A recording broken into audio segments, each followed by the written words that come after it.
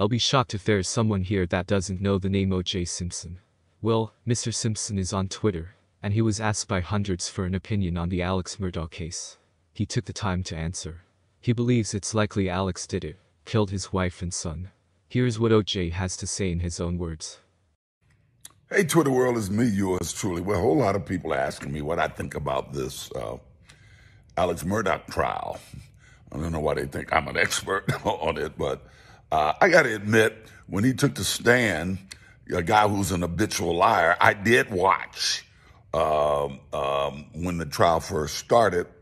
Uh, I watched him take the stand, and I uh, thought it was probably a mistake because the guy is an admitted liar and it's hard for me to think he can be on the stand five, six, seven, eight days uh, without lying.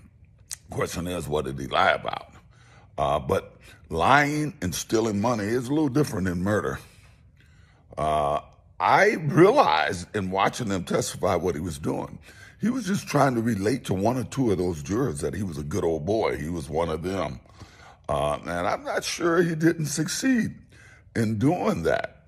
Uh, I am not qualified to to really say if the guy did it or he didn't do it. Uh, you know, if a juror missed an hour of testimony, they no longer qualified.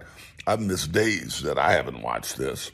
Um, uh, but from what I've seen, do I think it's more likely that he did it? Yes. But more likely equals reasonable doubt. Uh, so, uh, from what I know, uh, I would have to say there's a lot of reasonable doubt there. Uh, he's going to go to jail for all the thievery he did, stealing millions of dollars of people. I think he should be looked at more about the death of his housekeeper a few years ago, where he ended up with over $4 million of the insurance money. Um, I think they should take a hard look at that. But it wouldn't surprise me in the least if this guy beats this case. Uh, he's going to go to jail. He's going to go to jail for all the money he stole. I'm curious there because uh, I got nine to 33 years. 33 years because I caught some guys trying to sell my stolen property and I yelled at them. Even they didn't think I should go to jail. And the judge gave me, just Jackie Glass gave me nine to 33 years. So I'm trying to see what this guy is going to get.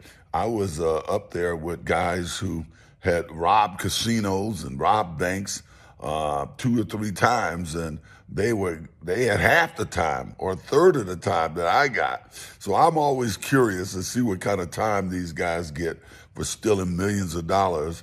When I caught guys stealing my stolen property, the state of California, after I was convicted, ruled it was my property and they gave it to me. So I have it now. So how do you go to jail for catching guys who are trying to sell your stolen property? Well, nevertheless, I do think this guy more than likely did it.